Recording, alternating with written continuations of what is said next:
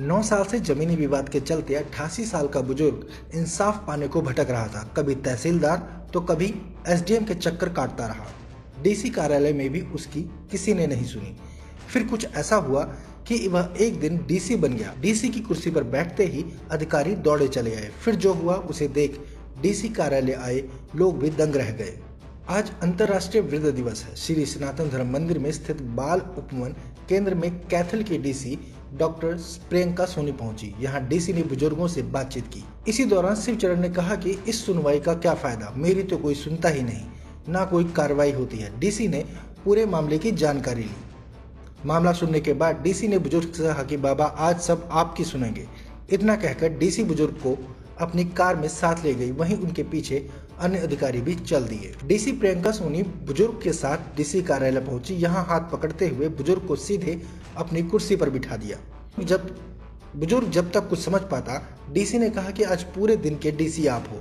अफसर भी मौजूद है, जो ऑर्डर करोगे उन्हें पूरा किया जाएगा। आज international day for old age है और पूरे विश्व भर में फ़र्स्ट अक्टूबर जो है, international day for old age मनाया जाता है। और इस दिन को सेलिब्रेट करने का मेन जो उद्देश्य है वो ये है कि लोगों में जागृति पैदा करना कि किस प्रकार जब लोग सीनियर सिटीजन हो जाते हैं और बुढ़ापे की तरफ़ अग्रसर होते हैं और वृद्ध हो जाते हैं तो उनकी किस किस प्रकार की ज़रूरतें रहती हैं और किस प्रकार हमें जो समाज का युवा वर्ग है और जो बच्चे हैं उनकी ये ज़िम्मेदारी बनती है कि उनका भरण पोषण करें और उनको पूरा सम्मान और आदर दें। तो उसी के चलते एक ये लोगों को प्रेरित करने के लिए आज का ये पूरा प्रोग्राम सेलिब्रेशन हुआ था। पहले ये बाल उपवन आश्रम जो है सनातन धर्म मंदिर के, उसमें सेलिब्रेशन हो रहा था और वहाँ पे हमारे सामने बाबा जी आए और उनके द्वारा ये शिकायत की गई कि उनका जो काम है वो काफ़ी दिनों से नहीं हो रहा। और जनरली जो लोग वहाँ पे बैठे हुए थे, थोड़ी मायूसी उनके चेहरे पे भी दिखी तो उसके चलते हम इनको एक दिन के आज डीसी ही बनाया है। और जो इनका काम अटका हुआ था कसान गाँव में तो उससे संबंधित सभी अधिकारियों और कर्मचारियों को भी बुलाया जा रहा है। और जैसे जो भी एज पर रूल आदेश दिए जाएँगे उसकी पालना भी कराई जाएगी। आज ये सेलिब्रेट करने का मेन उद्देश्य यही है कि जितने भी हमारे वृद्ध लोग हैं उनको अपने अधिकारों के बारे में पता रहे। सीनियर सिटीजन एक्ट में बहुत सारे ऐसे प्रावधान किए गए हैं। जिससे कि जो लोग बहुत ज़्यादा अपने बच्चों से प्रताड़ित हैं वो लोग उसमें बहुत आराम से जाके रिलीफ ले सकते हैं। एक तो उसके बारे में जागरूक किया गया और दूसरों बच्चों को भी बताया गया कि आ, किस प्रकार हर किसी को एक ना एक दिन व्रत बनना ही बनना है। तो अगर हम पीढ़ी दर पीढ़ी इस रीत को कायम रखेंगे तो वो हर किसी के लिए अच्छा रहेगा। मैम अक्सर ये फ़िल्मों में देखा गया है कि एक दिन का सीएम जैसे फ़िल्म में बनाया गया था आज एक दिन का डीसी बनाया गया। तो जैसे उन फ़िल्मों में पूरी पावर दी जाती थी आज इनको भी वो पूरी पावर दी बिल्कुल इनके पास पूरी पावर रहेगी।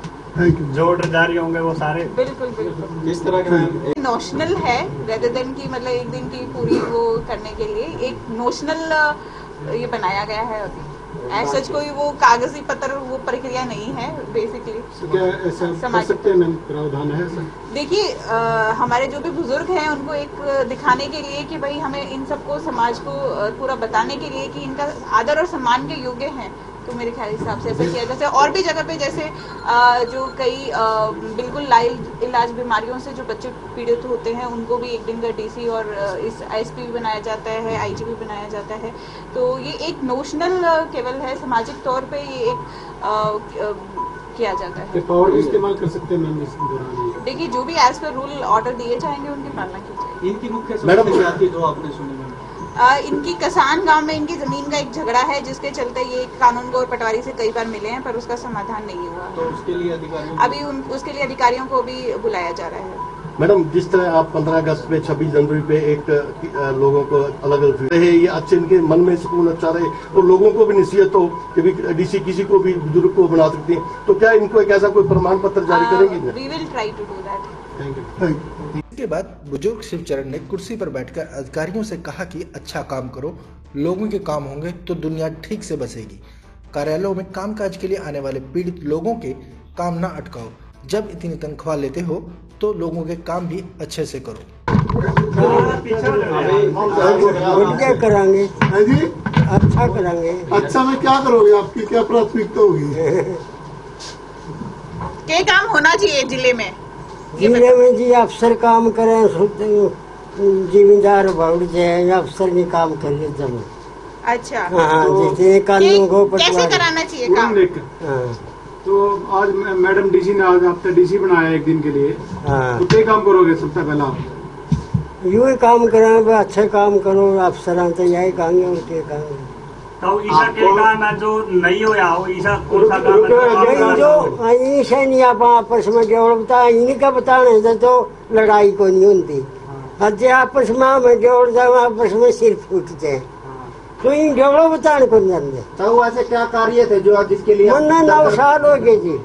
तो मैं छह सात करने को आ लिए मौका देखा आज एक एक ने सवा किला आवा सवा किला मन्ना आवा। और ढेव डुबोरिया उनकी सारा पता। छह सात करनों को आ लिए होंगे ये कानों को है यू कमल। सात हज़ार रुपये ले गया मेरे पता और तीन घंटे मेरी यो ज़मीन घटाई दी अगले पता ज़्यादा ले लिए। अच्छा। हाँ आवा तो सवा किला तीन घंटे मेरे लिए तो ज़्यादा दे दिए। मज़ा में डाका भाई तो किसान। अच्छा बाड़ू मरबा बंदी की गमी, साठ साल की मरबा बंदी है, काटी हुई। किसान की ज़मीन में को बाड़ू के ठट्टे वह सारी गमी बत्तीस हज़ार रुपये लेगा बाड़ू वाला मत है। वह सारी गमी किसान आड़ी में कर दी। तो ये तो तेरा अपना काम हो गया। लोगों वास्ते क्या करेगा? तो गरीबा वास्ते, किसानों वास्ते क्या करोगे आप? अच्छा काम करेंगे जी। अच्छा काम तो मैडम मैडम ने आप डीसी मैडम ने आपको है डीसी बनाया है। है? डीसी बनाया एक दिन के लिए। नहीं ठीक है फिर अच्छे काम कराएँगे आपको पता है डीसी क्या होता है? डीसी डीसी तो बताइए हाँ। कौन हुआ डीसी डीसी सब सारा जिला का मालिक होगा। जिला आप ज़िले के मालिक बने हो। हाँ सारा जिला का मालिक हो है। फिर आज आप हो मालिक? हाँ मालिक तो यही रहेगी मैं कुछ करूँ? सबसे पहला होगा था हाँ, राजस्थान में तो तुम्हारी योगोत्तन बताइए। है? हमारी योगोत्तन बताइए यार। आपकी गोद है लौरस है लौरस पहला ऑर्डर लौ लौ उसकी लायक है रामचंद्र की। हमारा गोद। आपका नाम पूरा बताओ। शिव शिव शरण। शिव चरण शिव शरण शिव हाँ, शरण मेरे बाप का नाम सुखता है। गाँव। किसान तब पहला ऑर्डर किए देगा मतलब अधिकारी बुलाए हुए हैं सभी आप आदेश दो काम होगा। मैं तो यूँ ऑर्डर दूँगा बस जिसका काम उनका काम करो। काम करे तो फिर वो दुनिया ठीक बस। है तनख्वाह नौकरी मिले सब मिले।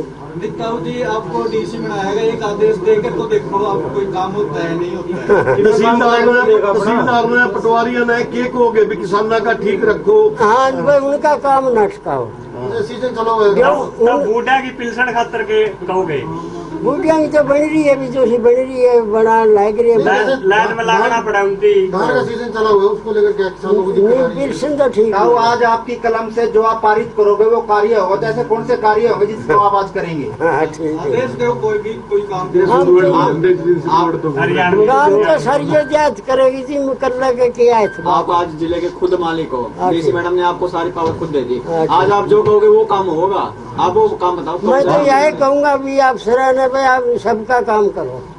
पब्लिक की सुनवाई मैं तो यही कहूँगा और क्या कहूँगा भी सब तनख्वाह जो वही दुनिया सुखता बस है। थारे बताने तो लड़ाई को नहीं होती माँ में आपस में जोड़ पर लड़ पड़ा सिर फूट जाए फिर जेल में जाए? मारे पोता है एक वकील बन गया है। और एक घंटा ज़मीन की डिगा रखी है थी और मरबा बंदी की जोड़े मैंने गवर्नमेंट पे बनवा रखी है। कागज़ है मेरे पास ताऊ आज अपनी बात न कहा आज तो डीसी है आप सारे ज़िले की बात कर पुलिस वाले ने क्या कहना चाहोगे पुलिस वाले ने? पुलिस वाले भी ठीक भी है बाजे बाजे खा के भी नहीं काम करती रोड पे चढ़ गया जी। खा के भी नहीं काम क्या कहोगे उनको? क्या कहोगे? मन मैंने एक किला रख रखा है। हाँ। आ जाओ वो, वो पोते ठेका दे जवाब देंगे। समझ ले? मैं गया था चौकी में। उनकी चमकाए छमकाए भी दे जाएँगे घर आके फिर जवाब दे पुलिस